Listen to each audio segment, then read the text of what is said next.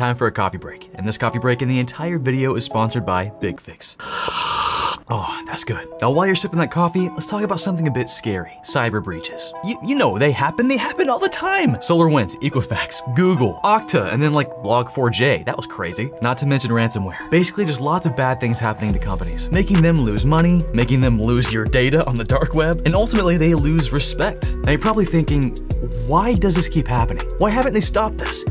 You know what? Actually, I'm kind of surprised this doesn't happen more often. Because here's the reality managing IT infrastructure for large companies or even just small companies is crazy hard. Actually, it's kind of almost impossible. Hundreds, sometimes thousands, tens of thousands of endpoints that you have to make sure stay safe. And adding to the complexity, they're not all the same, right? They're not all in one place like the office. They're gonna be at someone's house, you know, working from home, coffee shops, and the cloud. And also, they're kind of all different, right? Like they're running different operating systems like iOS, Windows, Linux, and it could be anything from a laptop to a phone to a, a kiosk. And I know you probably had the situation because it's happened to me.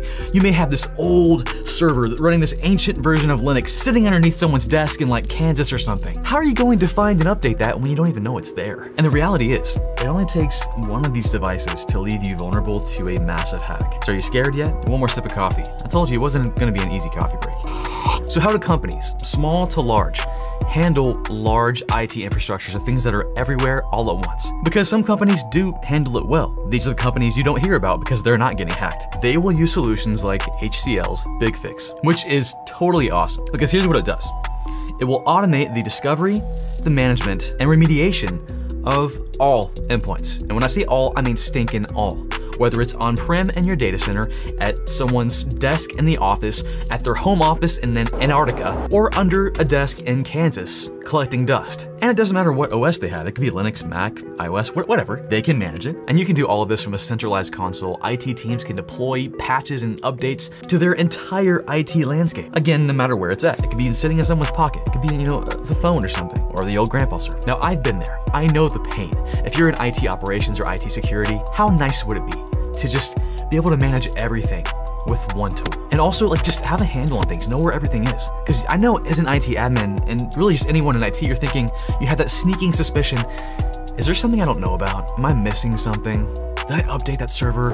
A new vulnerability comes out and it's like the most disgusting one in the world. It's gonna bring down your company and you're like, I don't know if my stuff is updated. I don't even know how to find all the stuff. That's where tools like BigFix come in. It'll give you better collaboration between teams because, you know, IT ops, security, everyone is gonna know through one console where things are, what's going on, is this server patch, what OS is this running? So you'll be able to cut down on operational cost and you can enforce what's called continuous compliance.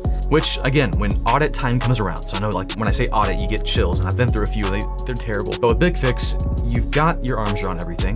They generate these amazing reports automatically for these compliance standards saying, hey, yeah, everything's up to date, or hey, we know the system isn't patched, we're gonna patch it real quick with one button. And a lot of these fixes are automatic. They use intelligent automation. They even have these things called fixlets, which sound like chiclets, which provide all these benefits and make it really easy just to deploy fixes to things. And because it'll automate a lot of the tasks you might like be doing manually right now, like what are you doing today? You're probably just gonna be patching servers, right? All day. Do you have to pull up a report? I mean, it's just a pain, right? But BigFix will free up that time so you can focus on the fun stuff, the fun projects, things that challenge you and remind you why you got into IT in the first place. So free up those evenings, free up those weekends, lower that anxiety and stress. Check out BigFix. I got a link below, bigfix.com. You can actually sign up for some free training to see, hey, what can this do for me? That can do a whole lot. And hey, thanks for having some coffee with me.